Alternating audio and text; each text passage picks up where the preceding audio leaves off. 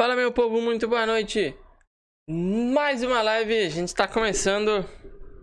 A live de hoje é uma live muito especial, adoro esse tipo de live, adoro esse tipo de live. Pra mim é muito importante. Opa, deixa eu aparecer aqui. Não estou aparecendo, aparecendo do lado do meu café.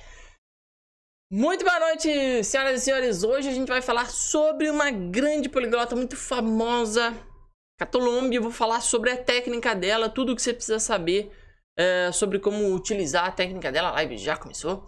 É, é, e, eu, e, a gente vai fazer na prática, porque é, a técnica dela é bem simples, bem, é, é, muito poderosa. E a gente vai fazer juntos na live de hoje para que você já pegue como é que funciona a técnica dela para aprender idiomas. Eu achei bem interessante quando eu estava é, aprendendo sobre poliglotas. É, eu, eu, quando encontrei a técnica dela, quando descobri ela, foi assim, uma luz no fim do túnel. Ela, ela inaugura uma nova fase de poliglotas, assim. Vou.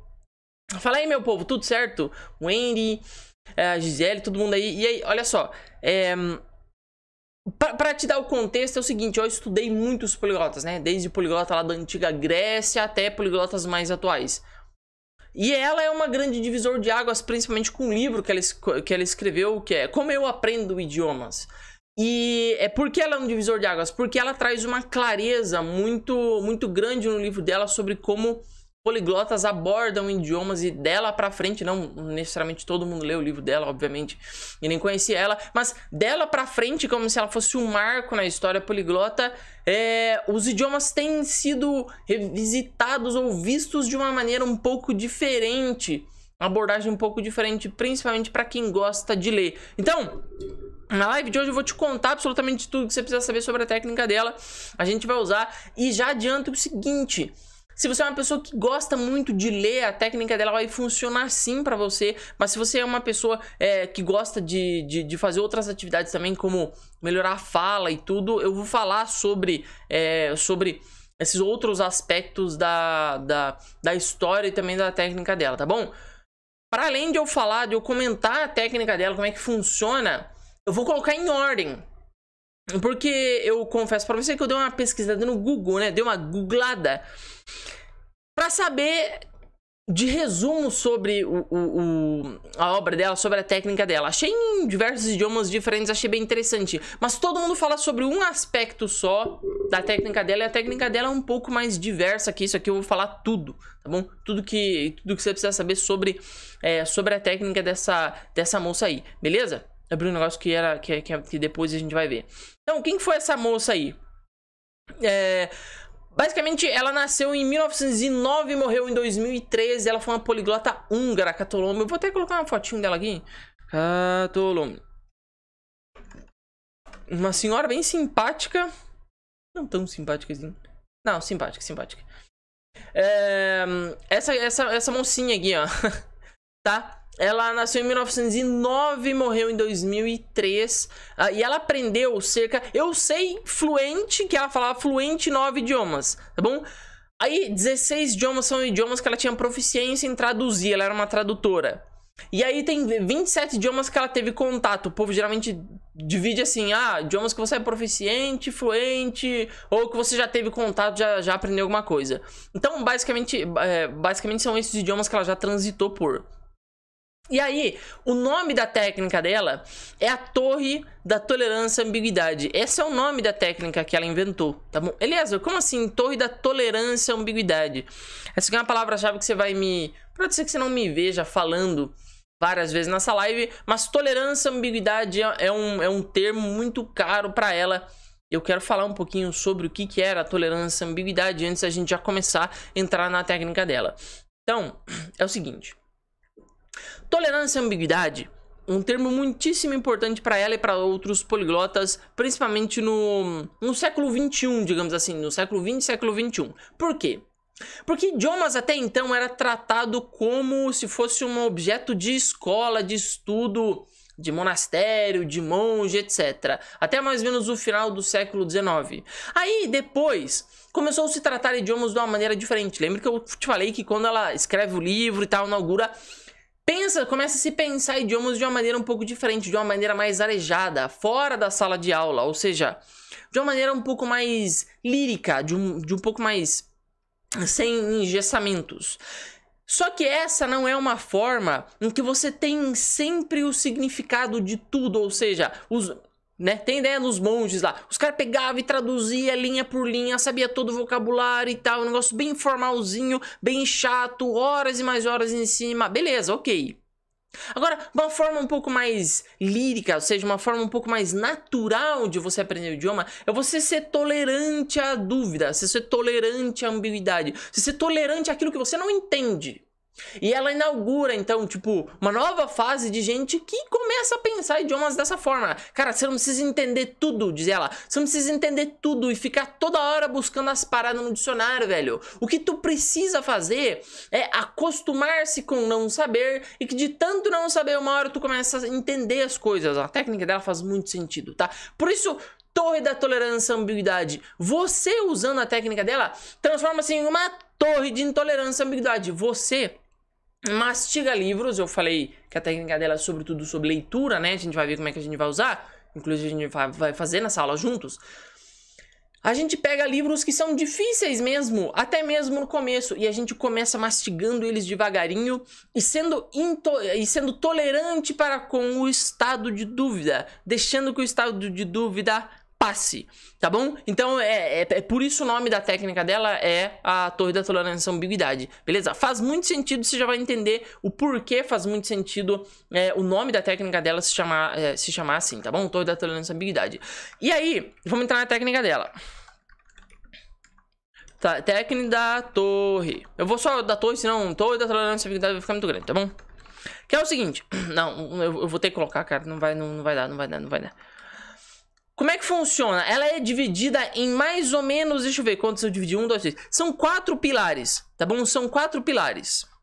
O pilar, o, o, o primeiro pilar é, hashtag 1, primeiro pilar é o dicionário, dicionário de vocabulário.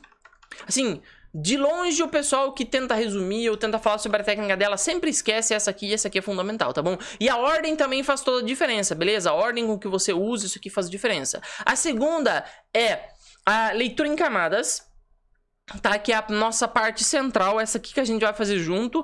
Ambas as partes aqui a gente vai fazer junto. Escuta e fala são as outras, tá bom? Então, é basicamente isso aqui. Deixa eu apagar isso aqui. Essa aqui. Hashtag 3. Escuta hashtag 4, que é o último pilar, hashtag 4, fala.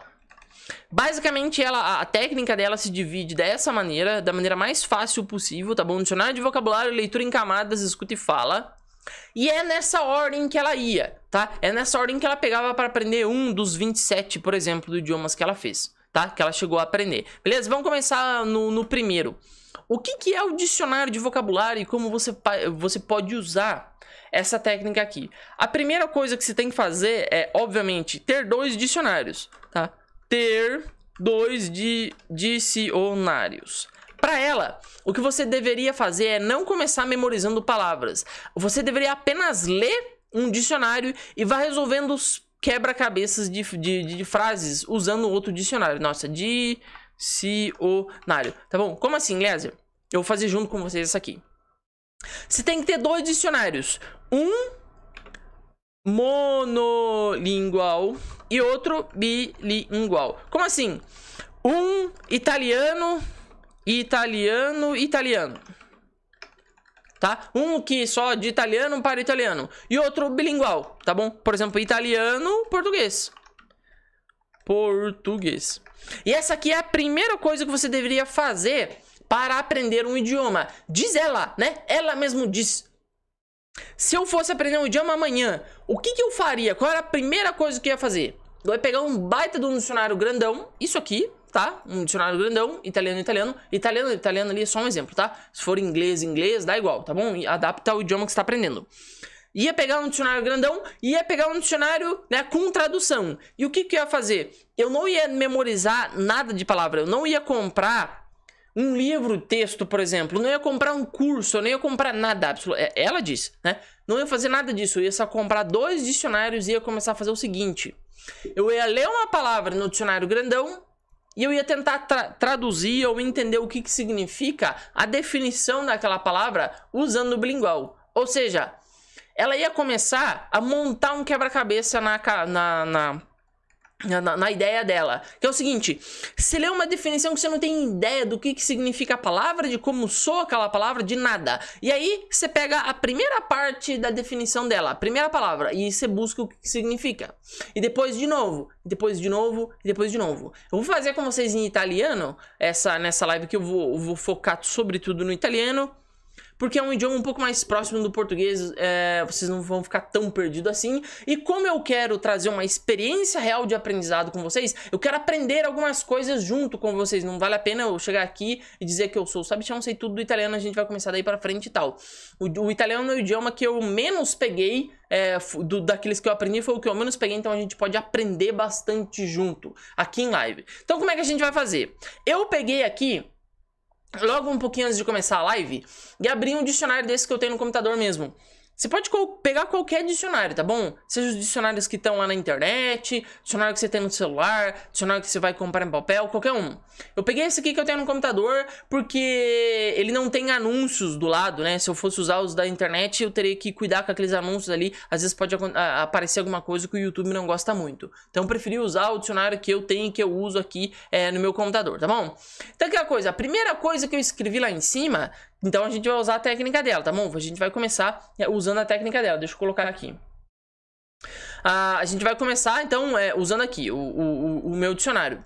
A primeira coisa que eu coloquei lá foi bambino, tá? Uma palavra simples pra gente entender. O que, que, a gente vai fazer agora? A gente vai ter que montar o quebra-cabeça. A gente tem que começar a entender, diz ela, o que, que, significa esta frase aqui. E se a gente não sabe exatamente nada de italiano, a gente deveria pegar logo a primeira, a primeira, a primeira palavra, por exemplo, essere, e já buscar numa tradução, tá bom? Já buscar num, num, num dicionário que tem dois, seria italiano-português. No caso, o dicionário Michaelis teria, ou até mesmo usando o Google Tradutor. Então, se você fosse um completamente iniciante no italiano, não soubesse nada, você, via, você iria colocar qualquer. abrir o dicionário em qualquer página, usando a técnica dela. E olha aqui, bambino. Cara, não tem ideia o que é bambino. Beleza. L'essere, não tem ideia o que é essere. Então você vai copiar e você vai lá no tradutor, tá bom? Eu vou colocar o tradutor do Google, tá bom? Não é a melhor fonte, mas. É... Deixa eu ver se eu tenho um, peraí. World Reference. Deixa eu ver se esse World Reference tem é, italiano-português. Eu acho que não tem italiano-português. Italiano, não tem italiano-português. Eu vou colocar o. Eu vou colocar o dicionário do, do, do Google mesmo, tá bom? Tá, deixa eu colocar aqui italiano português. Então, olha só. O que, que ele me deu? O que, que o Google já me deu ali de tradução? Ah, essere significa ser. Tá bom? Essere significaria ser. Deixa eu ver se você tá vendo isso aqui. Isso, tá vendo. Então, essere significa ser. Deixa eu colocar o, o dicionário aqui do lado. Esse aqui, tá? Essere significaria ser. E aí você iria simplesmente entender a, a, a frase. Essere humano, tá? Pô, eu não sei o que significa humano. Então, então Aqui no caso eu cliquei, ele foi para ele foi pra, pra, pra palavra, eu vou só copiar. É ser humano. Então o que, seria humano? É ser, seria ser humano. Ah, tá. Então, ser humano seria ser humano. É só isso que você faria. Então, o que, que ela fala? Durante mais ou menos um mês e pouco, eu todas as horas que eu tenho para estudar idiomas, eu monto um quebra-cabeça. Que quebra-cabeça é esse? A definição de algumas palavras. Então, ela já entendeu que bambino é um essere humano, tá? Então, que é o significa ser humano. Agora, nell'età, o que significa nell'età? Bom, significa, né? Por semelhança do português, na idade. Compresta, eu não tenho ideia o que, que significa compresta, né? Já tentei procurar aqui no próprio dicionário bilíngue, ó, não tem. Colocou ali compresta, não tem nada. Abre o Google Imagens, tem, então não faz sentido nenhum. Então vou colocar na tradução para ver se a gente entende. Se a gente não entender, e aí que já começa a técnica dela. Se tu não entender o que significa a palavra, não pira. E você também não precisa salvar nada. Não salva palavra nenhuma, não anota nada, não faça nada. Você só tá montando um quebra-cabeça, só tá querendo entender o que, que significa uma frase para uma palavra. O que, que é compressa? Ah, incluindo. Será que é incluindo mesmo? Não sei se é incluindo. Including, incluindo no espanhol ele vai dar incluído. Não sei.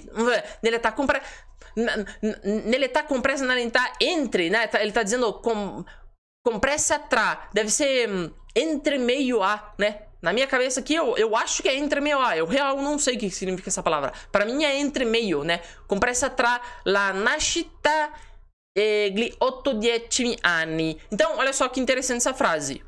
A gente entendeu por montar o quebra-cabeça que bambino significa l'essere umano, que significa um ser humano nell'età compressa, numa idade aproximada, ou pelo menos que está no meio, tra la nascita, entre o, o, início da vida da pessoa, né? Entre o nascimento e 8 10 anni. E o ano de número 18, né? Quando a pessoa tem 18 anos. Então, um bambino é uma pessoa que está numa idade entre, mais ou menos, uh, o seu nascimento e os 18. Tá bom? Então, seria esse o nosso primeiro quebra-cabeça. Eliezer, aí você pode. É, me manda aí no chat se você. No chat você tem alguma é, se você tem alguma dúvida aí já sobre, sobre a técnica. É tão simples quanto isso. A gente vai fazer mais uns aqui pra você, pra você pegar a ideia. Eu vou até tirar o tradutor pra gente ficar no dicionário, tá? Pra não ficar tão poluída a tela. É você ler. É só ler um dicionário.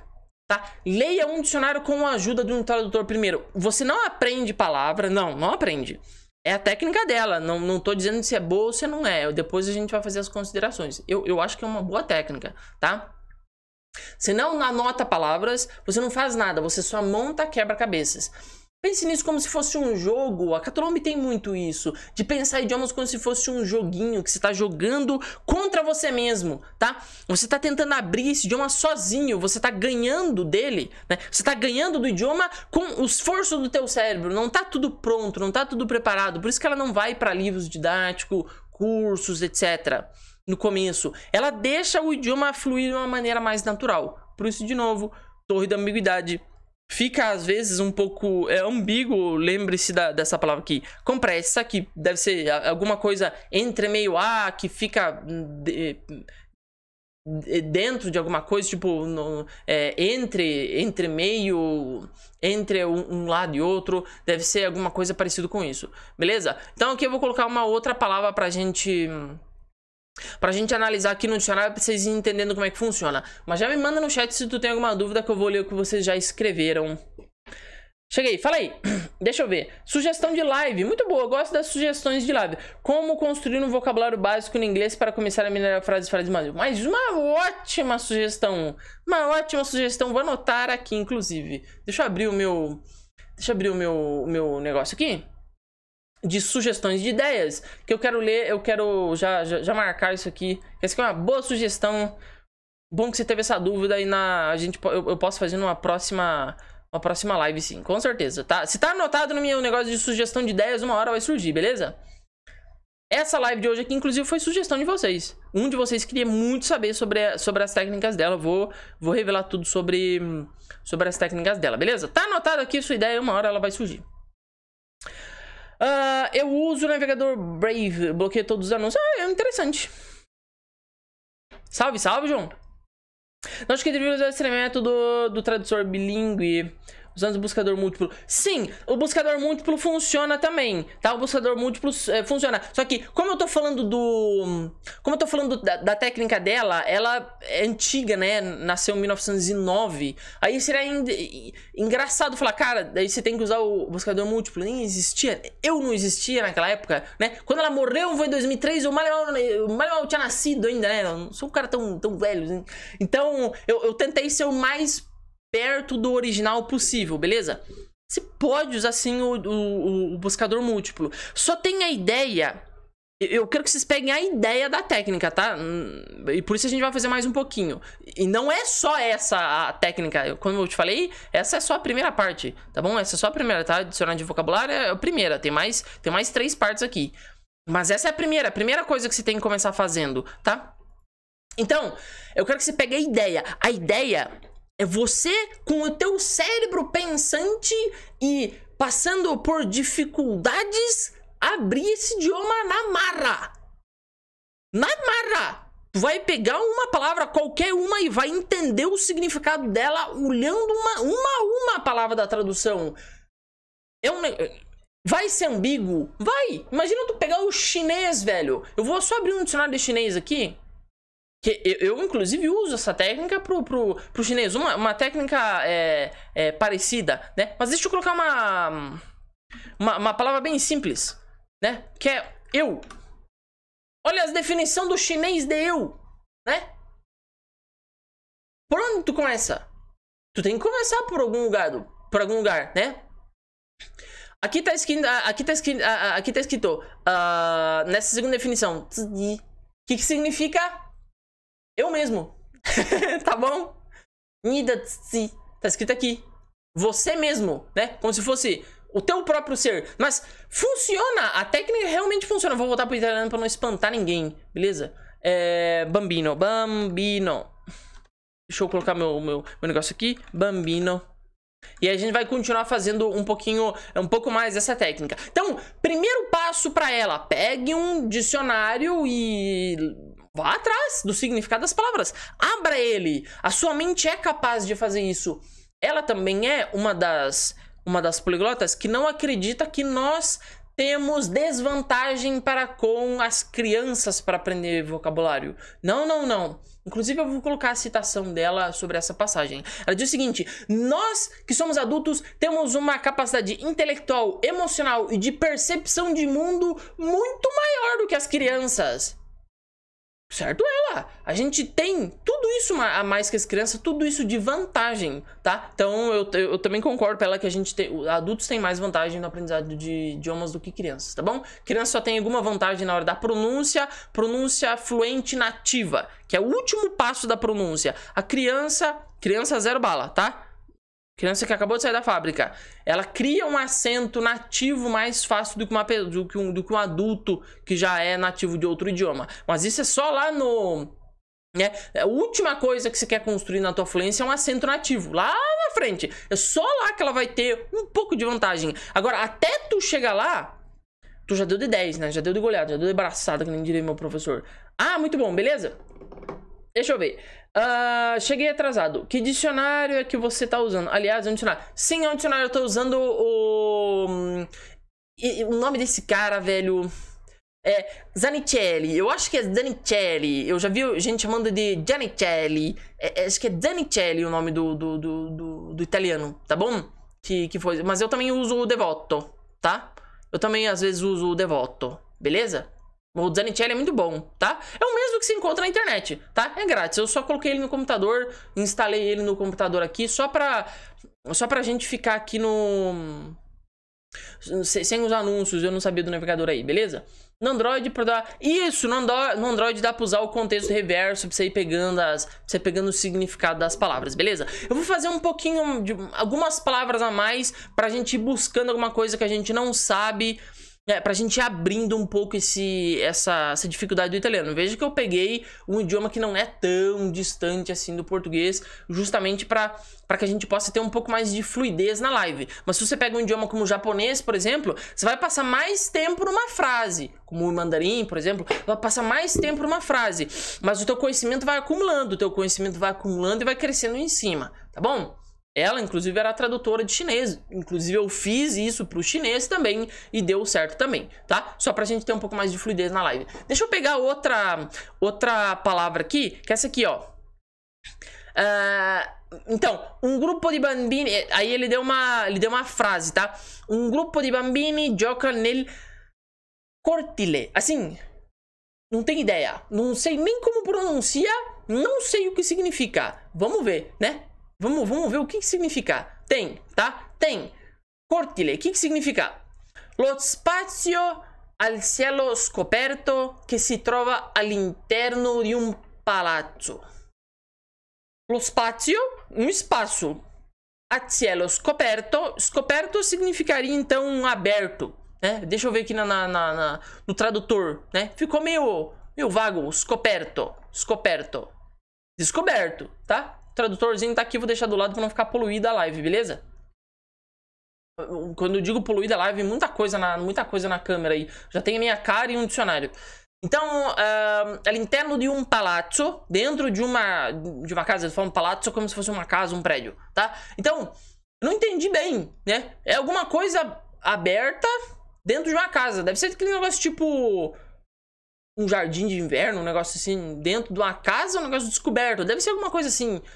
Cortilha. Eu tenho umas imagens aqui, o Google Imagens. Será que ele não vai achar besteira nesse Google Imagens? Deixa eu ver aqui. Ah, olha aqui, eu falei. Era tipo um jardim de inverno. Bem italiano isso, né, cara? Então, tem um nome. Ó, oh, tem um nome de um bar que é isso. Cortile. Legal, legal. Então essa palavra, essa, essa, esse negócio aqui é um negócio dentro de um palazzo, tá? É um negócio dentro de, um, de uma casa, de um negócio que... Tipo aqueles jardinzinhos tem hospital, né? Isso aqui, ó. Cadê, cadê? Esse aqui, ó, né? Tipo aquele jardim de hospital. É isso, então. Beleza? Então é isso. Que se trova ali interno de um palazzo. Beleza, essa aqui a gente já pegou. Qual, qual, outra palavra a gente vai pegar? Deixa eu ver se a gente tem uma outra palavra aqui. Ah, nelle case di campagna, spazio libero attorno alla casa. Attorno alla casa. Dá pra entender que nelle case di campagna, tá? Nelle case di campagna, ou seja, na, nas casas lá da, da, que são no interior, é um espaço, spazio libero attorno alla casa. Então, attorno, na minha, na minha cabeça, attorno seria em volta da casa. Mas não é a mesma coisa que o cortile, né? Que o cortile tem que ser no meio. Atorno seria em volta. Será que atorno seria em volta? Vou clicar aqui. Atorno, em torno. Uh, atorno, é como se fosse, seria em torno mesmo. Viti ah, pode, mas pode ser vitino. Então, se pode ser vitino, não necessariamente precisa ser em torno, pode ser do lado. Um... Oh, mas ele também tá dizendo que, que significa neipen... Neipresse. que significaria neipresse?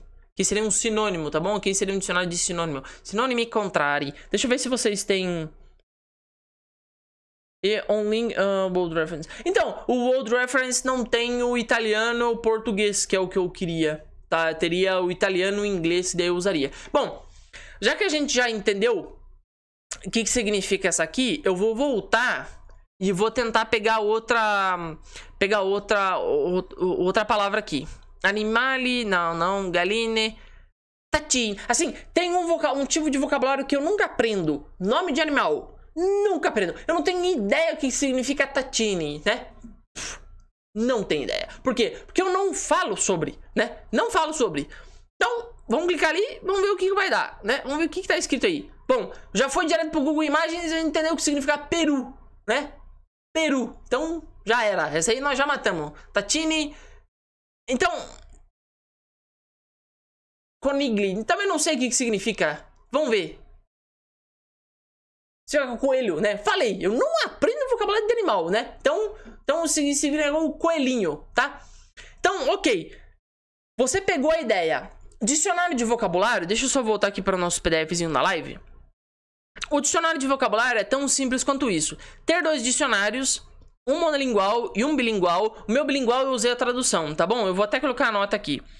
No meu, no meu bilingual, eu usei o Google, Google Tradutor.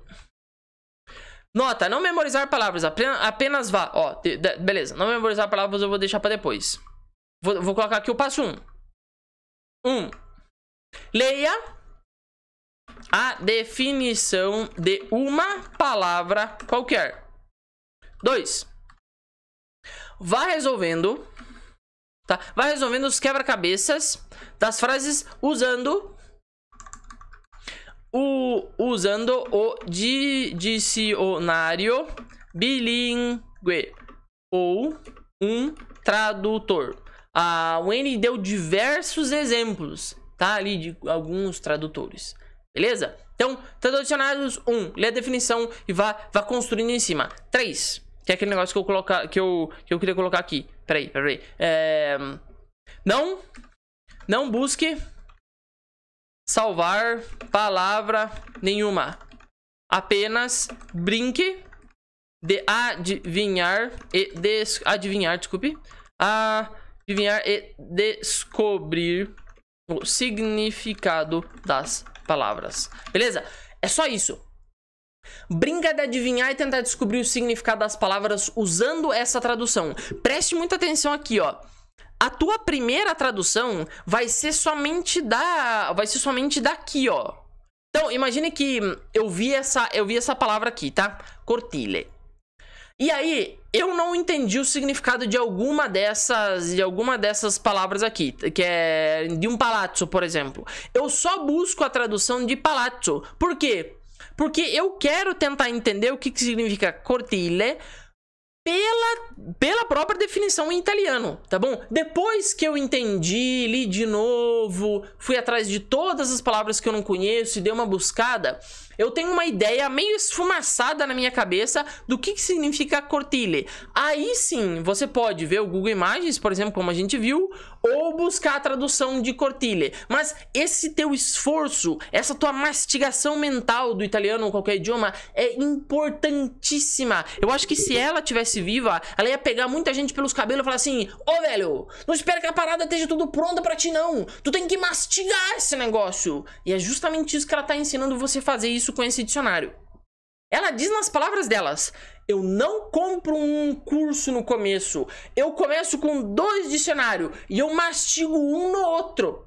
Você entende a ideia de mastigar um no outro? É isso que ela faz. Simplesmente isso. Então senta aí na tua cadeira, no teu escritório, bota as luzes meio amarela aí, pega um chá de camomila e mastigue um dicionário com o outro. Tu vai ver o quanto tu vai aprender. O quanto tu vai fazer esforço mental para entender as coisas e eventualmente você vai é, passar para outra etapa do aprendizado, que é a etapa que a gente vai entrar agora. Antes de passar para a etapa 2, o que, vocês é, me disseram? Vocês entenderam é, o, o que, que funciona, como é que funciona essa técnica aí, é, que é, é o primeiro passo né? Vai aprender o idioma, esse é o primeiro passo que ela fazia, tá bom? Depois eu vou dar as minhas considerações sobre a técnica dela. Antes eu vou deixar vocês entenderem a técnica dela como ela faz, tá? Vou deixar ela pura e simples. Não vou falar nada de mim por cima. Vou deixar a técnica própria dela, beleza?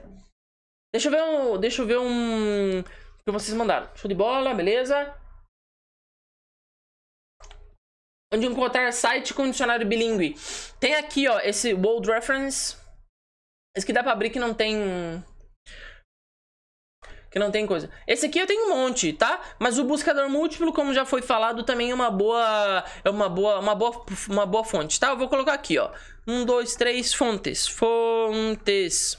Primeiro. Vários, vários dicionários grátis e bilíngues. Aqui. Aqui. Tem, tem outro site também que é Dictio. Eu só não vou lembrar do nome do, do, do Tem mais link pra botar aqui. Amanhã, quando eu for mandar o PDF da live pra vocês, eu vou colocar uma cacetada de link aqui, tá? Tem o buscador múltiplo. Me manda aí no chat por enquanto que eu tô caçando uns links aqui que eu lembro de cabeça. BM, BM do Eli. Ah, e tem, tem nossa, tem é Dictio, acho que o nome do dicionário é Dic, Dictio. Acho que é o Dictio, cara. Não é o Dictio. Nananana, não é esse aqui também. Tá, depois eu, eu vou colocar mais links aqui, tá bom? Vou colocar mais links aqui. Vai ter uma senhazinha o PDF. Que vai ser assim, a, a senha vai ser tudo junto. Pegar pelos cabelos. Pegar pelos cabelos, né? Porque eu imagino essa senhorinha pegando alguém pelos cabelos e assim, velho, mastiga o negócio, tá? Pegar, não é pegar, é pegar, sem acento. Pegar pelos cabelo, tá? Não é cabelos. Pegar pelos cabelo, tá? Pegar pelos cabelos, beleza? Eu vou colocar mais link aqui pra vocês, tá bom? Beleza? Deixa eu ver.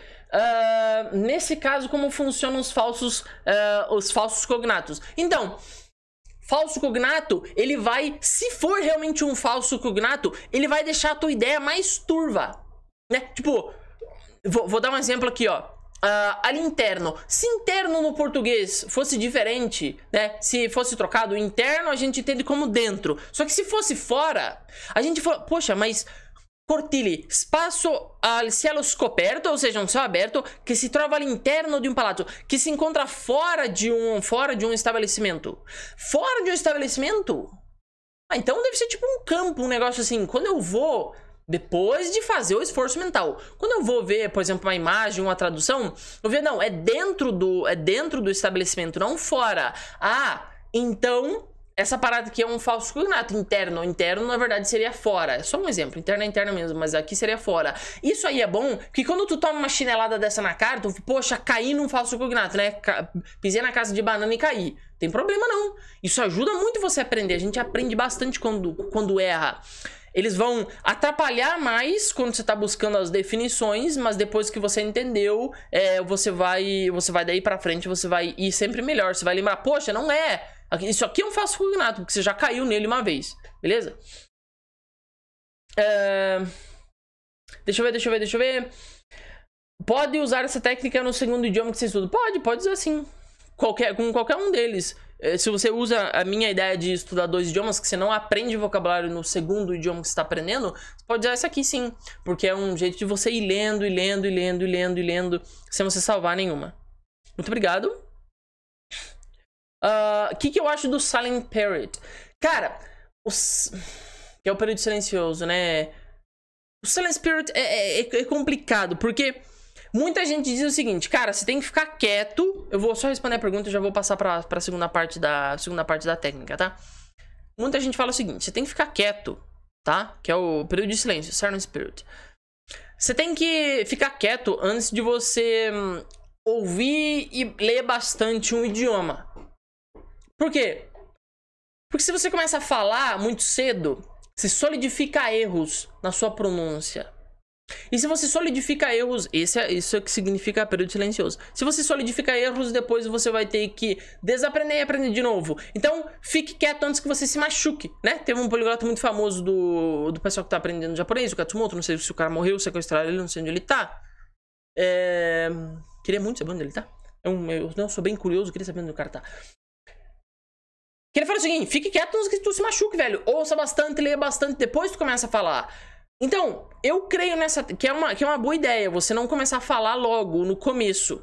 É bom você instalar, sim, o modelo mental no teu idioma. No, no idioma que está aprendendo na sua cabeça, para que depois você comece a exercitar a sua fala. Tá bom? Essa é, é, é o que eu acredito também. Mas, deixa eu ver quem fez a pergunta. Matheus. Mas, Matheus, então eu concordo com o Silent Spirit, beleza? Eu concordo. Não, você tem sim que ficar. que retardar um pouco a fala para instalar o um modelo mental do idioma na tua cabeça. Instalar um modelo mental é entender como o idioma soa. O teu cérebro entende quando é um americano nativo falando e quando é um português falando um inglês meio abrasileirado, né? Ele entende. Então é esse modelo mental aí que você tem que ter bem afiado. Pra você não cometer gafes quando você falar alguma coisa que é fora do padrão, teu cérebro vai falar, oh, isso aqui não tá muito certo com o modelo que eu tenho instalado aqui dentro. Aí você pode se autocorrigir a sua pronúncia, você se machuca menos. Agora, meu caro Matheus, há alguns contextos que pedem o contrário. Tem uma história real pra te contar. Meu amigo Felipe, Felipe Lucena. Felipe Lucena, há mais ou menos uns seis meses atrás, ele entrou em contato comigo assim, velho, tô desesperado, preciso ter aula particular com você, não sei o que. Eu tô ganhando muito dinheiro aqui no Brasil, mas eu tenho um monte de empresa me chamando para trabalhar lá fora, não sei o que, não sei o que, não sei o que. Beleza. Entrei em contato com ele, fui lá, a gente fez um protocolo ótimo. Ele hum, precisava começar a falar logo, logo no comecinho. Falei, não, Felipe, vamos fazer o seguinte, você vai fazer isso, isso, isso, isso, isso, você vai se preparar dessa e dessa e dessa maneira, vai começar a falar logo no começo. Ele tinha um contexto diferente. No contexto dele, não tinha como retardar a fala. Retardar a fala era fazer ele perder as entrevistas de emprego, por exemplo, que ele ia fazer lá fora, né, viajando, né? Então, o que, que a gente fez? A gente adiantou o modelo de o modelo de aprendizado dele, colocando a fala logo no começo. Beleza? Ele é uma baita história de sucesso da o, o, caso dele. Um dia a gente vai contar aqui, beleza? Até lá um segredinho que eu vou guardar para vocês. Beleza? Então, fizemos a parte do dicionário de vocabulário. É só assim que você vai fazer. Vou colocar mais fontes aqui. Se tiver alguma dúvida, manda aí, beleza? Uh, leitura em camadas. Essa aqui é a parte central da técnica dela. A gente vai passar é, por ela aqui um tempinho. Mas basicamente a nossa leitura em camadas é o seguinte. A gente vai fazer algumas leituras. Antes da gente começar a fazer a nossa primeira leitura, eu quero, eu quero mostrar o que, que ela mesmo fala, tá bom? Uh, I start on the comprehensible novel immediately. Aqui ela tá falando sobre uma jornada dela aprendendo idiomas. Assim, comprei vários livros. Um deles era uma, no, uma novelinha, um, um, romance que me era mais palpável, era mais fino, era mais simples. Então, eu comecei nela imediatamente. To go from incomprehension to half understanding. Ir de uma completa incompreensão a uma. Ah, entendi mais ou menos to complete understanding, ao com entendimento completo. is an exciting and inspiring journey. É uma excitante e muito, e muito é, inspiradora jornada. Então, eu comecei, comprei alguns livros de romance. E comecei pelo mais compreensível, pelo mais palpável, pelo mais facinho, logo no começo. Ir em uma jornada, diz ela, tá? Aqui, essa parte. Diz ela, ir em uma jornada da completa incompreensão para, mais ou menos, entendi isso aí, para uma completa compreensão, para mim, para ela, é uma jornada incrível e excitante, tá bom? Muito inspiradora e excitante, tá? Ela que diz isso. Então, só por essa citação, tu entendeu que ela, quando ela vai começar a fazer a leitura em camadas, ela não vai ler uma vez o negócio. Ela vai ler mais de uma vez. Por quê? Porque a primeira leitura dela vai ser aqui, ó, vai estar repleta de incompreensão. Logo nas outras leituras delas que ela vai fazendo, ela vai ter uma incompreensão média. Half understanding, né? Hum, compreensão mais ou menos. Para complete understanding um entendimento completo da obra. Então, ela vai ler algumas vezes. Vamos ver então como é que a gente vai fazer essa leitura em camadas depois que a gente aprendeu algumas palavrinhas no dicionário de vocabulário, tá bom? Primeira coisa que você faz, técnica do dicionário de vocabulário. Depois de um tempo, compre algum livro de literatura, algum romance, alguma coisa, para você já começar a ler no, no idioma que você está querendo aprender. Sim, começar a ler. Ela fala que a gente tem que começar a ler logo no começo. Tá bom? Essa é uma é, é, é, é, o mantra central dela, essa aqui é a parte central da técnica dela, é você começar o mais rápido possível a ler o teu, teu, teu primeiro romance, teu primeiro... Romance que eu digo não necessariamente uma história de amor, tá bom? Romance no estilo de história um gênero literário que significa uma história. Tem início, meio e fim. Isso seria uma história em prosa, né? Joãozinho lá e matou o Ciclaninho, seria uma história, beleza? Não necessariamente um romance. Compre alguns livros desses e já comece a fazer isso. Indo de uma jornada de completa incompreensão para compreensão média para um, um completo, uma compreensão mais, é, mais significativa. Bom, as primeiras leituras, como é que seriam? Você deveria... É, é, a gente vai fazer na prática agora, tá? Então a gente já passou para a segunda parte. Aí a gente vai fazer. Hum, ah, você também é a favor do Sandpierce. Ah, legal. Então a gente vai fazer o seguinte: a gente vai anotar apenas as frases, beleza? Vai anotar apenas as frases. E depois a gente vai fazer criar um pequeno glossário é, nas margens daquilo que a gente entendeu, tá bom? Só que, opa, não era pra ter, pra, pra ter feito isso aqui. A, apenas anote as frases que você entendeu pelo contexto, tá? Que você entendeu.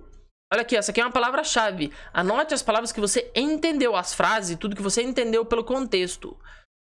E essas frases, isso aqui, isso aqui é importante, essas frases, essas frases devem ser fórmulas, fórmulas prontas. Por exemplo, o que eu quero dizer com fórmulas prontas? A gente vai ler um livro aqui, italiano, que é o Gattopardo, do Giuseppe... Giuseppe não, é do... Giuseppe de Lampedusa. E nesse livro, ele vai começar falando sobre os monges, alguma coisa. Deu uma, só uma lidinha logo no comecinho pra ver se a gente encontrava. Se eu não encontrava nada de, de, de ruim ali pra gente começar, mas deu, deu boa. Então, o que, que, que ele vai falar? Ele vai falar sobre monges, não sei o que, lá nas campanelas, não sei o que. Agora, ali não tem nenhuma forma pronta. Por exemplo, é... voglio trovare um restaurante. Se tivesse uma frase dessa lá dentro do livro, por exemplo, quero encontrar um restaurante ou estou procurando um restaurante. Voglio trovare um ristorante. Isso aí é uma frase pronta. É uma fórmula pronta. Que você, se entendeu pelo contexto, é bom você anotar, poxa, voglio trovare um restaurante. Eu posso usar isso aqui em algum dia. São frases que você pode guardar no bolso, tipo um bate-cinto né? Não sei se ela lia Batman. Parece que lia, né? Ela, ela tem muito disso de você usar uns itens, assim, uns acessórios.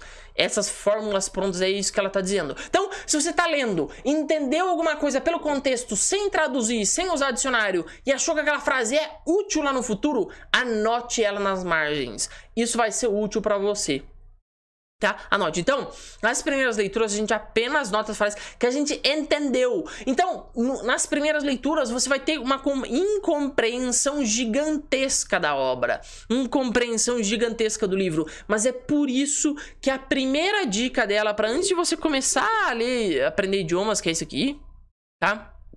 É que você se apaixone por isso, que você escolha quando você for pegar os seus materiais, quando você for escolher os teus livros, por exemplo, pra você fazer a leitura em camadas, que você escolha aquilo que você goste, aquilo que te dê paixão, aquilo que te dê amor por isso. Outra história de um aluno o Arthur. O Arthur gosta de vinho, cara.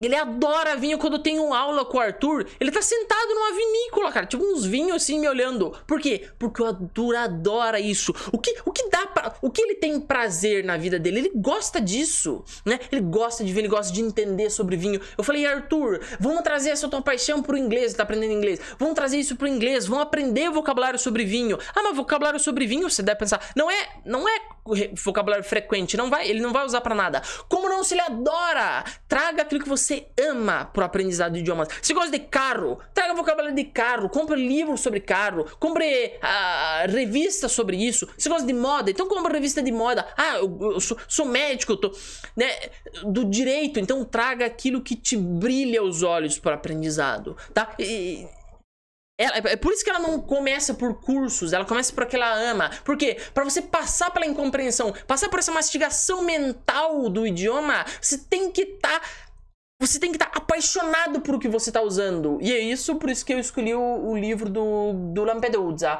Porque no livro do Lampedusa é uma literatura e eu gosto de literatura. Então a gente vai começar. A gente vai começar lendo pequenas passagens Aquilo que a gente não entender, a gente vai deixar de lado, você não precisa entender tudo agora, e a gente vai ir buscando entender pelo contexto, entender com o pouco conhecimento que a gente já tem desse idioma, a gente vai buscar entender pelo contexto. E a massiva quantidade de coisas que a gente não entender, deixe de lado que nas próximas leituras a gente é, entenderá, certamente entenderá. Quando for a hora de você buscar palavras no dicionário, a gente vai entender, tá bom? Então vamos lá, vamos ler algumas passagens aí, deixa eu ver se tem alguma dúvida.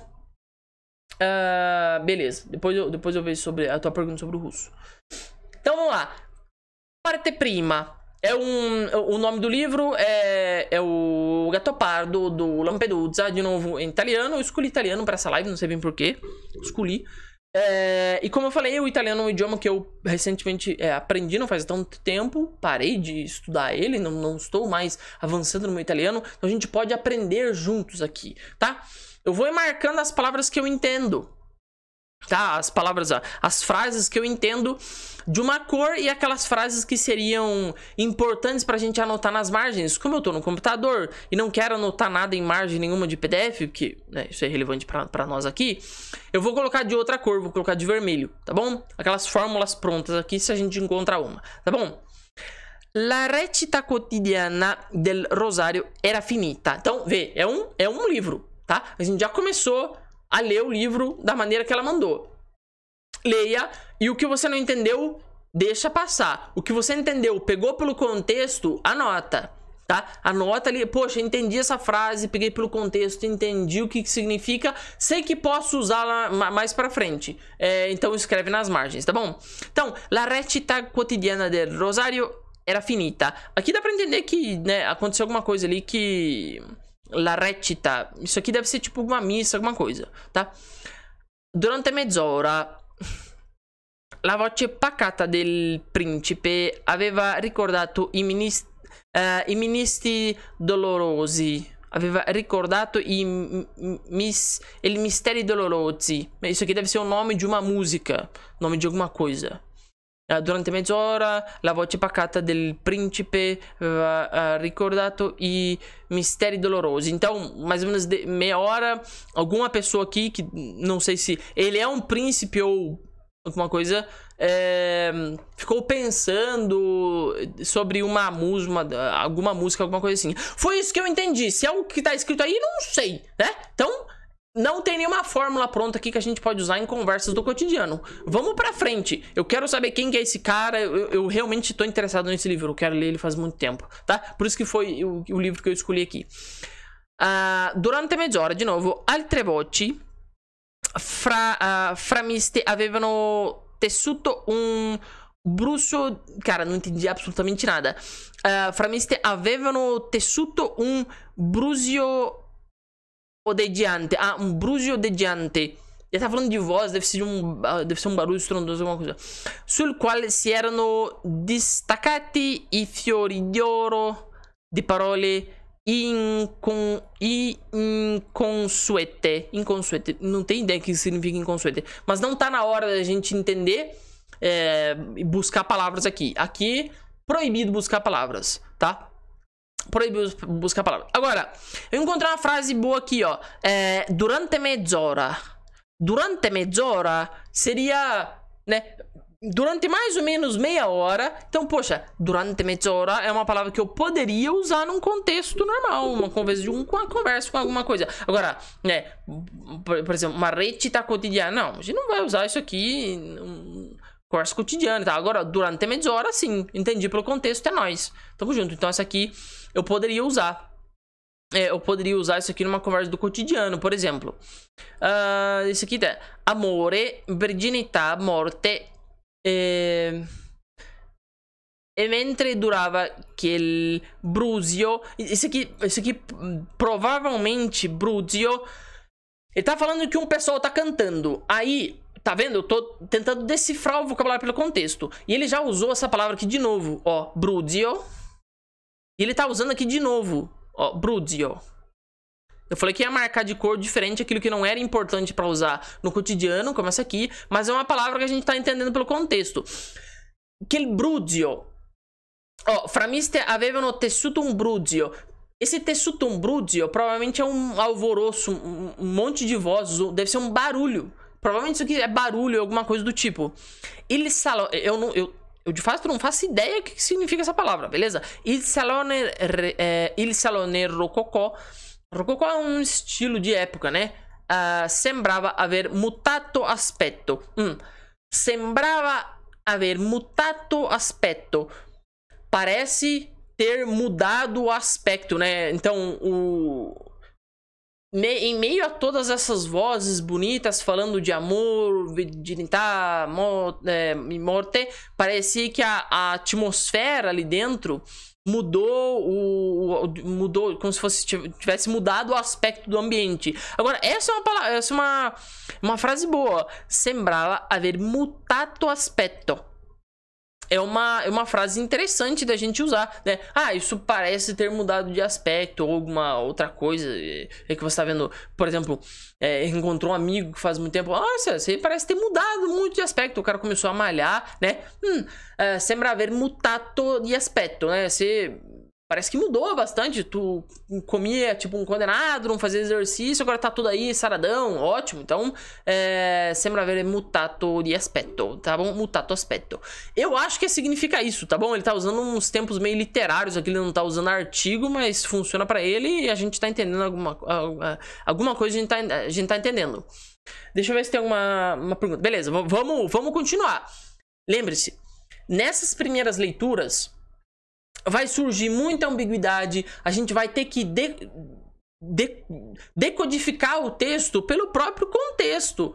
Por exemplo, Bruzio. Eu não tenho ideia o que é Bruzio, mas ele repetiu a palavra duas vezes em um parágrafo. E ele tá falando sobre música. Pra mim deve ser barulho, cara. Então, é isso que você vai fazer. Isso aqui é um. Isso sim é você passar por uma. por uma baita de uma é, tolerância, ambiguidade. É ambíguo esse texto. É difícil de você entender o que ele tá falando. Você precisa ter essa tolerância ao que é ambíguo. A tolerância àquilo que você não entende. Entender mais pelo contexto. Vamos continuar uh, financo e papagali. Cara, o que, que, significa isso? Não tem. Uh, che spiegavano le, le ali iridate sulla setta del parato erano Parisi intimiditi. Sim, daqui a aqui não entendi nada, né? Franco e papagaio que spiegavano eh, le ali le, ti spiegavano le ali iridate sulla seta del parato erano a Parisi intimiditi. Pff, entendi nada. Vamos pra frente. Perfino la Madalena. Esse aqui pro, pro, provavelmente deve ser. Deve ser um, um, canto desses religiosos. Esse. esse deve, ser no final deste, né? No final deste canto aí, que de, de, de, deveria finalizar algum, algum ciclo de, de, de, coro. A, fra le due finestre ou não, né? Ou não, não sei. Fra le due finestre, acho, que sim. Era sembrata una penitete, uh, una penitete anziché una bella biondona. Não sei o que, que significa isso. O que, significa isso aqui? Bion, biondona. Svagata in chissà quali sogni. Ah, então, alguma coisa ali, não sei, provavelmente isso aqui deve estar pintada. É, deve, deve, deve ter alguma pintura, alguma escultura, algum, alguma coisa de, de alguma coisa que é bonito, agora não sei o que. Uh, que deve estar devanecendo, né? É, svagata in chissà quali sogni. Ela deve estar pintada, deve ser uma escultura, alguma coisa que deve estar, tipo, sonhando, um aspecto de sonho perdida em um sonho, né? Porque svagata em chissà quale sogni deve ser alguma coisa do tipo. Uh, come la come la si vedeva sempre. Uh, como se via com frequência. Então, provavelmente é alguma coisa que eles sempre viam. E como uh, se vedeva com se vedeva sempre. Isso aqui come si vede da sempre, é uma ótima construção para a gente usar é, também no dia a dia, né? É, come si vedeva sempre, é, i soldi ah, siano finito, né? Como sempre, o dinheiro acabou. Né? Como sempre, o dinheiro acabou. Então, a gente, a gente poderia usar é, uma expressão dessa, beleza? Deu para pegar mais ou menos com esse parágrafo, com esse parágrafo aqui, como é, é fazer a primeira leitura dela. Beleza? Essa é a primeira leitura dela que a gente tem que fazer. Beleza? Uh, deixa eu ver. Uh, deixa eu ver, deixa eu ver, deixa eu ver. Russo, sim, pretendo aprender o russo. Justamente por causa da literatura. Uh, deixa eu ver o que, o, o que mais o Matheus falou. O único jeito de a motivação é consciência dos seus objetivos. Metas da linha quase contrário fica muito difícil. É, ter um, ter um objetivo exatamente é um. É algo, é algo fundamental, exatamente é, para você ter para você ter mais motivação você tem que saber para onde você está indo obviamente por isso que quando eu faço é, aula com os alunos e tudo eu falo cara qual, onde você quer onde você quer chegar e aí, se você tem claro onde você quer chegar a gente vai de uma maneira mais interessante ela não fala muito disso, tá? A Catolombo não fala muito disso. Ela fala mais do, de você trazer a tua paixão pro idioma, né? Escolhendo coisas que você gosta de ler. Aqui eu escolhi um livro de literatura, é, porque é o que eu gosto de ler. Mas imagina que você gosta, sei lá, você é da, oficina mecânica, você gosta de mecânica de moto, por exemplo. Cara, então você vai atrás de revista de moto, esse tipo de coisa. É o que você gosta, beleza? Deu o exemplo do, do Arthur, que gosta de vinho. Tem um monte de pessoas que, é, que gostam de tecnologia, games. Vai atrás de vocabulário de coisas que você goste, de consumir conteúdo que você goste, beleza? Sobretudo, como é a, a técnica dela aqui, leitura, tá? Revista, quadrinho, é, esse tipo de conteúdo, só que tem que ser leitura. Agora, depois de algumas leituras, a gente só fez a primeira aqui a gente iria pelo livro inteiro. Aliás, quanto tempo você ia ficar para ler um livro inteiro? É por isso que você tem que pegar um mais maleável no começo, um mais fininho e tudo. Mas, cara, ela falou que teve um livro que ela pegou, ela ficou três meses em cima de um livro. É, três meses, mas a mulher aprendeu 27 idiomas. Aprendeu 27 idiomas. Mesmo que você me disse, ah, não, demora mais três meses em cima de um livro. Quem tu conhece que aprendeu os 27 idiomas? Ela, obviamente, dá de lavada em muita gente por aí, né? E ela falou, que, ela falou que deu certo, ensinou tantas pessoas, tantas pessoas já usaram a técnica dela e aprenderam. Então, né? Funciona. Só que você tem que fazer aquela leitura em camadas. Primeira leitura, você apenas anota aquilo que você entendeu pelo contexto, salva algumas fórmulas prontas que você pode usar em conversas do cotidiano e vai daí para frente. Agora, depois de algumas leituras que você faz, você já sim pode começar a procurar palavras no dicionário. Eu fiquei bem curioso com essa palavra aqui, tá? Bruzio. Eu vou copiar, eu vou colocar no nosso dicionário, espero que tenha. Ó, Bruzio. Rumore bazzo e confuso, provocato uh, da persone che parlano tra loro. Hormônio. Né? Exatamente o que eu falei. Um, né, um, um barulho, alguma coisa das, de, de, pessoas que estão falando. Então é, é, como se fosse um murmúrio, né? Aqui no caso eles estão. Vê. Como a gente entendeu que era um murmúrio, dá para entender que a música era baixa que eles estavam cantando. Na minha cabeça, a imagem que foi pintada aqui, provavelmente num castelo, alguma coisa, onde o príncipe estava ouvindo como se fosse um recital, uma missa, um negocinho. Na minha cabeça era um negócio bem alto. Agora que eu entendi que é murmúrio, já mudou o clima, já mudou um, para um clima mais sonolento, mais para baixo, mas isso aí só depois de algumas leituras que a gente vai pegar. Essa, esse detalhe, essa finesse, isso que é algo mais fino. Aí, ela diz o seguinte: somente alguma, depois de algumas leituras você começa a procurar palavras no dicionário. Por quê?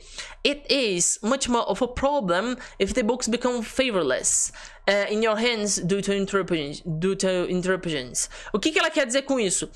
É, é muito, é um problema muito maior se, que esse livro fique sem sabor nas tuas mãos, que você fique desinteressado de usá-lo se você ficar procurando toda hora todas as palavras no dicionário e você ficar interrompendo a leitura toda hora. O livro na sua mão ele vai começar a ser uma carga para você, você não vai aproveitá-lo da melhor maneira possível. Então, por isso que ela fala. Então, nas primeiras leituras, aproveite, entenda só aquilo que você entende pelo contexto e vai daí para frente. Nas outras, nas próximas leituras que você vai fazer, já entendeu mais ou menos a ideia geral, aí sim você pode buscar algum vocabulário que você deixou, por exemplo, anotado aqui, ó, Brudzio. Pô, eu queria saber, ele usou duas vezes a palavra no mesmo, no mesmo parágrafo, queria saber o que, que significava. A gente entendi que era murmúrio, já mudou a cena na minha cabeça. Então era um murmúrio, não era um recitar um negócio bem alto, de tipo, um monte de criança cantando com aquelas vozes estridentes. Não, era algo bem mais baixinho.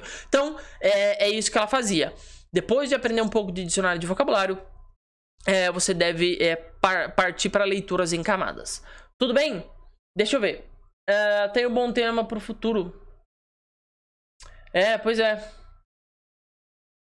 É, seria bom ter um livro mais fácil de entender. Não, não, aí, aí, aí que tá. É muito boa. O, o, o, Físico Gamer aí mandou uma. Não seria mais fácil ter um livro que é mais facilitado no começo, meio chatinho, em vez de pegar algo talvez seja interessante, porém frustrante porque é tão difícil? Diz ela, e eu tendo a concordar com ela, que não. Não é mais. Assim, ok, você. Ele tem um ponto, e muitas pessoas pensam assim, cara, mas é melhor você pegar um texto que é mais fácil, que é mais facilitado, mas você vai entender mais. Só que ela diz o seguinte: você vai entender mais de algo chato. É melhor que você entenda menos de algo legal. Por quê? Porque ela é sobretudo sobre você passar por esse período de incompreensão, mas lutando com ele com a força que você tem por trás, que é de gostar do conteúdo. Se você não gosta do conteúdo, você não tem a força para lutar contra, você não tem a força para abrir o livro, para continuar frase após frase e tudo. Você não tem essa força. Mas se você tem, se você gosta, se você é, se apa é apaixonado por aquilo que você está lendo, você vai para frente. Funciona, viu? Funciona bastante. É... É, pra, pra mim, pelo menos, sempre funcionou e pra centenas de outras pessoas também. Eu mudei um pouco a técnica dela, agora falando só um pouco sobre essa técnica aqui. Como é que eu mudei ela pra gente no século XXI, tá bom? Então a gente tá em leituras em camadas. É, como é que eu mudei um pouco essa técnica aí no século XXI? Cara, que pra nós, né, dá pra gente tomar um caminho um pouco mais alternativo, um pouco mais otimizado. Primeiro, você deveria aprender, começar aprendendo frases frequentes. Tá? Começa aprendendo frases frequentes. Aprende palavras frequentes, não frases, desculpe. Aprende palavras frequentes primeiro. Essas palavras frequentes vão ajudar você. Ao invés, para mim, ao invés da gente fazer a técnica do dicionário de vocabulário, eu preferiria aprender palavras frequentes, tá? Usando um sistema de repetições passada, por exemplo. E aí, depois que eu aprendesse, sei lá, umas 1.500, 2.000 palavras frequentes, eu começaria a ler um livro que, de, de meu interesse, usando a técnica do capítulo de ouro. Falei da técnica do capítulo de ouro umas lives atrás, que é o seguinte: é você pegar o primeiro capítulo do, do, do, do livro e você ler ele de cabo a rabo, entendendo tudo o que está escrito ali, parando, buscando palavras buscando sentenças, anotando no dicionário, salvando as palavras num sistema de, de repetições passadas. Nem que o primeiro capítulo desse livro te tome dois meses da tua vida, mas tu passa por ele mastigando até as páginas. Depois do primeiro capítulo, você não busca mais palavra do dicionário, não faz mais absolutamente nada. Você simplesmente lê o livro. Por quê? Porque um livro e um, um, autor, eles têm um reino semântico limitado, ou seja, o livro ele tem uma certa quantidade de palavras, tá? Limitadas por quê? Pelo estilo do autor, tá? Por exemplo, pelo estilo do autor, pelo tópico que ele fala, são alguns limitantes, tá? Pela região onde ele, onde ele vive, o, palavreado das pessoas que está em volta dele, que ele escreveu. Então, um livro ele tem essa, ele tem essa, essas digitais aí. né, digitais no vocabulário. E o que, que acontece? O capítulo de ouro, o primeiro capítulo, serviria para você abrir esse livro. Eu prefiro usar essa técnica. Aprender palavras frequentes, mais o capítulo de ouro, salvando tudo no sistema de repetições passada. E depois, ao invés de ler várias vezes o mesmo livro, eu leria vários livros do mesmo autor, porque como eu te falei agora, um autor ele tem uma especificidade, né? Ele usa um certo conjunto de vocabulário, né? Ele usa certas palavras. Por exemplo, se você já leu Machado de Assis, sabe que ele gosta muito do adjetivo cândido ou cândida para mulheres ou para homens, que significa algo de uma enorme doçura, finesse e delicadeza, né? Algo como se fosse uma boneca de porcelana, é algo cândido, é bonito, né? é, é, é precioso. Eu nunca vi esse adjetivo sendo usado tantas vezes em outro livro. Esse é um adjetivo, na minha concepção, machadiano. Quem usa esse adjetivo em textos correntes que você encontra em jornal, etc., leu Machado de Assis. Eu tenho certeza disso. Por quê? Porque é o Machado de Assis que usa. Eu busquei algumas vezes no, no dicionário, quando eu tava lendo Machado de Assis na faculdade. Para entrar na faculdade, né, no vestibular. Porque eu não lembrava do que significava. Mas depois que eu entendi, foi foi para frente. Por quê? O Machado tem o, o, o, vocabulário dele. Então, eu prefiro fazer essa técnica aqui, tá? Palavras mais frequentes, capítulo de ouro, mais o sistema de repetições passada.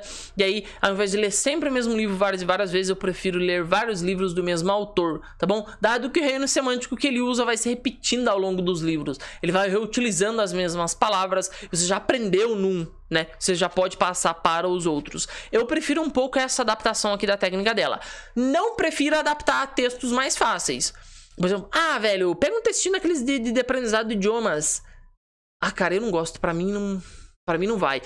Eu até recomendo para alguns alunos, falar, ó, oh, cara, pega esse texto aqui é mais fácil. Tem lá na comunidade, inclusive, a gente tem mais de 3 mil textos com áudio desses facilitados, mapeado por nível. Tipo, ah, esse aqui é nível bem facinho você ler isso aqui, depois você vai. Cara, é ótimo. Assim, é, é um material incrível. Eu, pessoalmente, não, não, não engulo. Eu prefiro um negócio difícil, hardcore mesmo, bater a cabeça, mas eu prefiro usar aquilo que eu amo. Eu gosto de literatura, eu gosto daquilo que é punk, aquilo que é difícil, né? Eu gosto. Mas tem gente que prefere partir para pro outro lado. Eu e a Catolombe, como a técnica é dela, é, eu peguei inclusive isso dela. Eu prefiro dar aquela mastigada, sabe? Ficar na incompreensão, por isso o nome da, da, da, técnica dela é Torre da Intolerância à Ambiguidade. Eu prefiro lutar contra a intolerância à ambiguidade, ou seja, lutar contra a ambiguidade, cara, eu tá ambíguo, mas eu vou pra frente porque eu gosto do conteúdo, do que lutar contra o tédio. Eu prefiro isso, vê? Então, essa, essa frase, essa frase ficou boa. Eu prefiro, prefiro lutar contra a ambiguidade, ambiguidade, do que lutar contra o tédio. Beleza? Eliezer Piano. Eliezer Piano. Beleza? Eu prefiro lutar contra a ambiguidade do que lutar contra o tédio, cara. Eu não, não, não consigo. O tédio mata um idioma pra mim. O tédio mata um idioma pra mim. Se eu me entediar nele, ele vai-se embora. Agora, mesmo que esteja difícil e ambíguo, eu vou pra frente se eu não tô entediado, né? Com o livro em cima da cabeça e gritando, né? Saindo sangue dos olhos, mas eu vou pra frente. Não tem essa. Agora, se for um texto de fazendinha, de plantar melancia e colher amendoim, não vai, velho. Não vai. Então, é, fica a minha dica aí, de, que eu e ela também, a Catolome, também preferimos essa, essa outra via, tá? Eu vou falar só sobre as últimas partes da técnica dela, que ela fala muitíssimo pouco sobre que é a escuta e a fala. Desculpe, eu já, já escrevi escuta e fala, tá? Eu só vou fazer um resuminho do que a gente viu até agora sobre a técnica dela antes da gente passar para a próxima, próxima etapa, que é bem curtinha. A Catolombe foi uma poliglota húngara. E ela nasceu em 1909, morreu em 2003. Ela aprendeu mais ou menos uns 24 idiomas. Ela tem uma técnica muito simples batizada carinhosamente de Torre da Tolerância Ambiguidade. Por que Torre da Tolerância Ambiguidade? Porque, como eu resumi um pouco na live, ela preferiria lutar contra a ambiguidade do idioma, ou seja, pegar um texto que ela gostasse, um livro de literatura que ela amasse, que ela quisesse muito ler. Ela preferia lutar contra a ambiguidade daquele texto, ou seja, quanto difícil fosse, do que lutar contra o tédio de você pegar um material facilitado, um curso, e aí você começar a patinar, e aí é, ela preferiria lutar contra a ambiguidade e não contra o tédio. Por isso o nome da técnica dela é Torre da Intolerância e Ambiguidade. A técnica dela principalmente se divide em duas partes. A primeira é você usar um dicionário de vocabulário. Dicionário de vocabulário é o seguinte: você pega logo no começo, quando você começou a aprender o idioma, compre dois dicionários, um grande e um bilíngue, né? Um que tenha a tradução. Pegue e abra numa, numa, numa página a esmo, né? Qualquer página. Pegue uma das definições do dicionário grandão, que não tem a tradução, e vá palavra por palavra da definição, mastigando ele com outro dicionário que você tem a tradução. E assim você vai entendendo mais como é que funciona a estrutura daquele idioma, as palavras, como elas estão compostas. Depois de um tempo que você fez isso, você vai ganhar um pouco de vocabulário, você não precisa salvar nada, você não precisa fazer absolutamente nada. É comer um dicionário com outro, abrir um dicionário usando outro. Depois de um tempo você pode pegar já e começar a ler livros. Essa é o pilar central da técnica da Catolombe. Ler. Ler livros que você gosta, ler livros que você ama. Ela amava literatura, eu também adoro, amo literatura. Só que é difícil. Mas é preferível lutar contra a ambiguidade do difícil do que contra o TED de algo facilitado. Então ela diz o seguinte: comece lendo uma vez.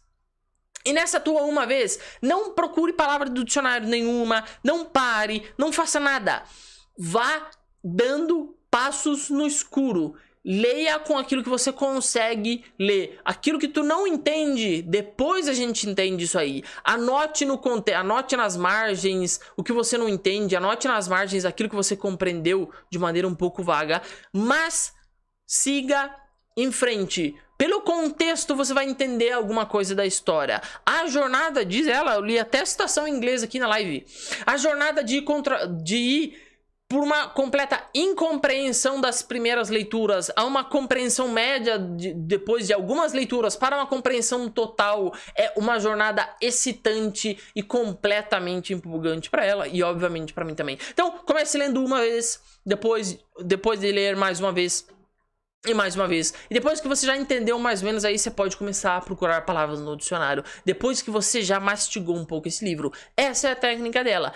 E eu te falei que eu adaptei essa técnica aí para o século 21, que eu vou te mostrar no, na minha tela agora, mais ou menos como é que é.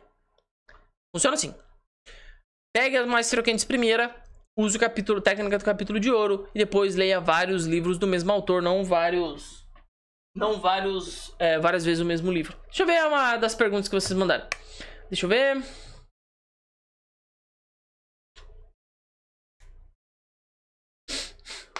Fala, time to study. Eu fiz a live de número 3. Uh, ah, definitivamente seria, seria ser último. Eu vou colocar aqui como um, um uma ideia. Vocês deram várias ideias nessa live. Deixa eu ver. Uh, criar e estabelecer objetivo no aprendizado de idiomas. Beleza, eu vou anotar aqui uma, uma, uma hora eu faço uma live sobre essa. Sobre isso, beleza? Deixa comigo. Deixa eu ver, vocês têm alguma pergunta, manda no chat que eu já tô acabando a técnica dela, só falta falar de dois pontos aqui. É, vou, vou mostrar, vou mostrar. Matheus, pode deixar. Mas se você tem. Uh, um, se você ler muito um autor, não vai, não vai falar. Não vai fazer. Peraí, peraí. Mas se você ler muito um autor, não. Não vai fazer você falar igual aos livros dele com os nativos? Ah, um pouco. Mas ele é nativo, né? Adoraria que alguém falasse com o Machado de Assis é, escreve, né? Só que você não encontra isso. Falar é. Falar é um outro exercício. Eu vou falar sobre. A gente vai entrar na fala agora, né? Mas você entender, adquirir a fala é um, é, um, é um outro. É uma outra pegada. Aqui, o pilar central dela é a leitura. Ela fala, ela diz alguma coisa sobre a fala e a escrita, que eu vou comentar agora em live, mas o pilar central dela é a leitura, tá bom? Fala a gente conquista de uma maneira diferente. Você conhece o Enki? No Enki, extensão que desenhe. Uh... Ele não. Não conheço. Eu conheço um que faz isso no japonês. Mas existem vários baralhos, tipo do. do Enki. Que. Que tem os GIFs, tá bom? Baralhos prontos que tem os GIFs. Que daí ele desenha bem certinho como é a ordem, tá? Tem baralhos prontos que tem bastante. Você vai vender algum curso? Não. A live é de graça para todo mundo, Marcelito. Você vai vender algum curso? Não. Ah, agora não. A comunidade está fechada. E a live é, obviamente, aberta a todo mundo. Quem quiser pode assistir. Ela vai ficar uma semana, tá? Aí ela vai, ela vai sair. Mas Sim, não vou vender nada. Só tô dando, obviamente, todo o meu conhecimento que eu tenho pra dar pra você, pra você usar, tô, tô dando. Grande Led, tamo junto. Seguinte, final, escuta e fala. Ela fala pouquíssimo sobre isso, tá? Sobre a escuta e sobre a fala. Eu peguei algumas coisas muitíssimo importantes que eu preciso comentar aqui para vocês. Deixa eu fechar isso aqui que a gente não vai mais usar o dicionário. Que é o seguinte: a escuta, como ela treinava de duas maneiras, tá? Várias vezes ela escutava as notícias, tá bom? E fazia uma fazia uma escuta ativa da pronúncia, tá bom? Como assim, Eliezer? Ela mesmo fala, deixa eu ver o seguinte. Aqui, ó. Ela mesmo fala uma, uma, uma, frase muito importante quando ela vai dizer, como ela vai, quando ela vai discursar sobre a pronúncia, sobre a fala. It is another delusion. Delusion é uma ilusão. That in order to learn good pronunciation, it is enough to hear it. That is another illu delusion. Illusion, delusion. Tá? É uma ilusão que para ela que tá falando, tá? Página 90 e 91 do livro dela. Eu, ela não tem um livro, só tem vários, mas é do mais famoso. É uma ilusão você acreditar que uma boa pronúncia vem somente de você ouvir. A mulher é uma lenda! É uma lenda viva no mundo poliglota. E tem gente na internet, famoso inclusive, que fala que só de você ouvir tu, tu, tu começa a falar. Mentira deslavada, né? Mentira! Não tem como. É uma ilusão. Para você aprender a falar, tem alguns exercícios que ela fala, que ela fala para você fazer. Eu não vou entrar neles agora. É, eu vou falar só sobre a escuta. Ela fala bem pouco, mas ela diz o seguinte: Entendeu a minha técnica, rapazinho? Entendi, Catulombi. Ok, aí ela diz o seguinte, mas não é, não, não para por aí. Você precisa também treinar a tua escuta. Para treinar a tua escuta, ela diz o seguinte: você precisa ouvir várias vezes alguma coisa que para você é bem familiar. Então ela diz o seguinte: eu, eu Catulombi, vejo, vá, escuto as notícias em húngaro. Ela é nativa húngara. O que, que eu faço? Eu escuto as notícias várias vezes em outros idiomas. Por exemplo, ela escutava as notícias em húngaro. As notícias do dia. Obviamente são as notícias do dia anterior, né? Depois escutava as notícias do grego. As mesmas notícias em grego. Não necessariamente o mesmo programa, que ela não tinha isso, mas às vezes as notícias elas se mesclavam, então ela já entendia o que estava acontecendo pelas notícias do húngaro. Então, vez ou outra, uma vez por semana ela gravava e ficava repetindo, escutando aquele áudio de novo e de novo e de novo. Treinar a escuta escutando, principalmente escutando notícias, tá? Vez ou outra por semana ela sentava, procurava rádios, estações de, de rádio do idioma que ela estava assistindo, que ela estava escutando e aí ia ouvindo, tá bom? E também fazer uma escuta ativa da pronúncia. Ela diz que o aprendizado ativo é importante. O que, que é escuta ativa da pronúncia? Uma coisa é eu colocar o meu fone, escutar um espanhol, inglês, fica assim de boa. Outra coisa é eu botar meu fone esperar, cara. Eu quero que esse cara, esse esse inglês, esse americano, ele fale isso aqui, ó that in order to learn. That. Quando o cara fala that, eu tenho, cara, o cara falou. Como é que ele falou? That. Deixa eu, deixa eu colocar de novo. Isso aqui é escutativa. That. Ah, então não é that com, com D do português. É that. Ah, vou ouvir de novo. Isso é escutativa. Vou ouvir de novo. That in order to learn. Ah, então, de novo. That that. Isso é escutativa, diz a Catolombe. Você tem que prestar atenção naquilo que você tá querendo pegar. Cara, tem um pronunciar, tem um difícil de, de, de, pronunciar o TH do inglês. Então bota o áudio ali que tu tá ouvindo. Quando, quando o cara manda um TH, tu O cara mandou um TH. Eu vou entender como é que é esse TH do cara. É igual a gente fala português, é that. Não, não é that. É that tem um tremendinho aí, tem um barulho que é diferente. Isso é uma escutativa, tá? Então, ela fala o seguinte: você treinar a tua, a tua escuta, escute várias vezes a mesma coisa, ela ouvir as notícias, você pode ver outra coisa.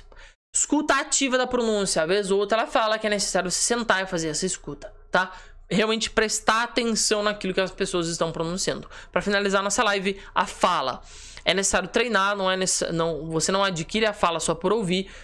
E como que ela manda você treinar é, ela é bem, ela, ela é bem tra tradicional nesse, nesse quesito. A, a, o, a maior descoberta, a maior é, façanha dela tá na parte da leitura, assim. Ela tinha conversações uh, com professores, tá? Ela, aí é bem convencional mesmo, a técnica dela aí era completamente convencional. Monólogos silenciosos também. Falava com ela mesma na cabeça, tá? Para além de ter aulas com professores para ter aula de conversação, ela fazia monólogos silenciosos e decorava poemas e canções. Isso aqui é algo que muita gente negligencia: decorar poema e canção. Se você decora um poema em outro idioma, você tem a oportunidade de usá-lo de vez em quando ou de treinar, de vez em quando treinar a, a pronúncia usando algum desses poemas, alguma coisa é, que, que te enriquece devagarinho. É, então ela, ela fala, poxa, para além de você ter aula de, de conversação, conversar com nativos, etc., faça uns monólogos silenciosos e decore, vez ou outra, poemas e canções, que isso vai te ajudar é, na sua na sua jornada aí aprendendo idiomas. Beleza? Então, seria. É, exatamente, o TH para saber até em tem letra. Então, é basicamente isso, são essas técnicas delas. Deixa eu juntar tudo aqui para que fique um negócio bem coeso no seu cérebro, para que a gente passou um tempinho falando sobre umas, né, mas para que ela fique bem coesa, eu quero juntar todas as os, as, os pedacinhos aqui, ó, em um só. Amanhã eu vou mandar o PDF, tá bom? PDF, senhazinha já tá ali. Eu vou fazer um resuminho bem rapidinho de tudo que eu falei, mas assim, bem rapidinho mesmo. E truncamadas, escuta. Esses aqui são os quatro pilares da, da, da técnica dela, tá bom? Escuta. E fala! Beleza? Começamos no nosso resumo maroto para finalizar a live. Vamos lá? 3. Deixa eu ver se tá todo mundo. Deixa eu ver se tá todo mundo aí. Beleza? 3, 2, 1. Vai! Catolombe. eu adoro fazer esse resumo. Eu tento espremer o meu cérebro o máximo que dá para falar menos possível, o máximo, a maior quantidade de informação necessária. Catolombe. Anos de aprendizado de idiomas resumidos em uma frase de mais ou menos uns dois minutos. Para ela, o central do aprendizado de idiomas é você lutar contra a ambiguidade e não contra o tédio. A melhor maneira de você fazer isso é você encontrar material de leitura que você ame. Para que você chegue no material de leitura que você ame, você primeiro precisa aprender um pouco de vocabulário. Para você aprender um pouco de vocabulário, o primeiro passo que você tem que dar aprendendo um idioma é, ponto número um, usar um dicionário de vocabulário. Você tem que ter dois dicionários, um monolingue e outro bilingue, e usar um dicionário para abrir o outro. Eu fiz em live com vocês várias palavras. Vocês entenderam como é que funciona a técnica, não é tão difícil. Depois de um tempo que você ficou fazendo isso, você precisa passar para leitura em camadas. E aí sim que o show começa, velho. Porque aí sim que tu pega aquilo que tu ama ler, né? Assim, eu adoro literatura, eu adoro ler livros de literatura, eu adoro ler literatura italiana, a literatura russa. Um dia eu quero ler no original, né? Mas literatura é francesa. Eu, eu, eu tô lendo um livro do Honoré de Balzac. Eu adoro esses caras. Isso é o que me dá paixão que me faz brilhar o olho para aprender um idioma. Mas o que que você gosta? Se gosta de anime japonês, traga isso pro teu aprendizado. Se gosta de mangá, tu gosta de revista de ficção científica, se gosta de revista de ciência, tu é um cientista, você é um médico, você é um doutor, você é, é, trabalha na, na, na, área da lei, advocacia, você, o que, que te faz brilhar os olhos neste mundo? Traga para o aprendizado de idiomas. Ah, aliás, eu gosto de tricô, cara. Então não tem problema. Veja tudo que tem sobre tricô escrito em francês se você está aprendendo francês. Se é o que você ama, traga para o aprendizado. Isso por si vai matar toda a vontade que tu tem de desistir. Por quê? Porque não importa se é difícil.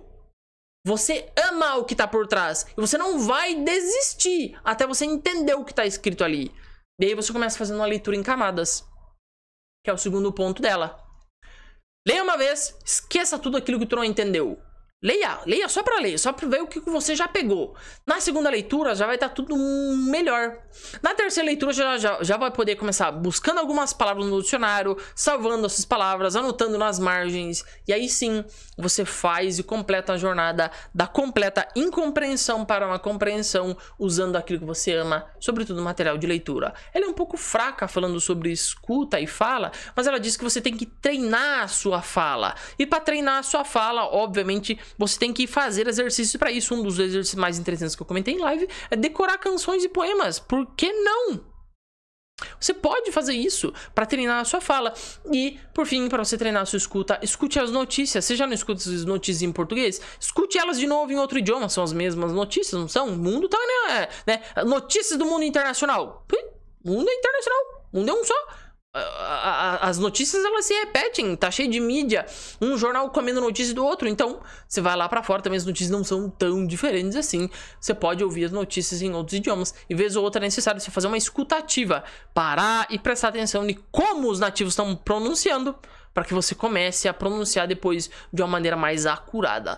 Essa é a história dela, aprender idiomas, essa é a técnica dela. Você vai Desde o dicionário de vocabulário até o treinamento da fala, passando por todas essas etapas. Foi assim que ela aprendeu 27 idiomas. Foi assim que eu me inspirei nela para criar as minhas técnicas de aprendizado de idiomas. Não digo que eu não usei as técnicas dela, porque eu usei exaustivamente sim. E funciona. É basta você, é... basta você usar, tá bom? E a dica fundamental dela. Dica principal dela. Traga o que você ama por aprendizado. Isso nenhum curso pode fazer por você. Nenhum professor pode fazer por você. O que te brilha aos olhos é só teu. Não é deles.